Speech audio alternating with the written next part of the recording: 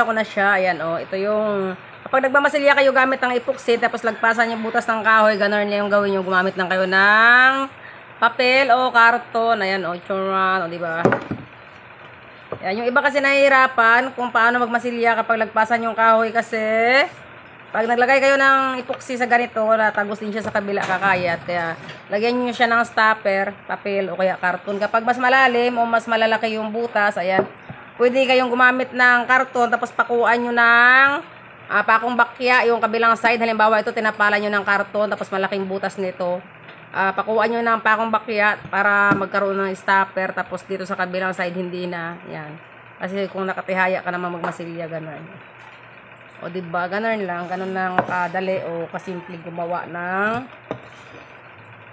pang diskarte doon sa kapag nagmamasilya kayo kapag butas ng kahoy. Ganun. Gumawa lang kayo ng ano ng tulad nito, o, tu- lagpasan to, ayan, o, tsuran. Ah, mag, maggawa lang kayo ng karton o papel na pangtapal pag ganun. Tulad nung ginawa ko kanina. Ayan.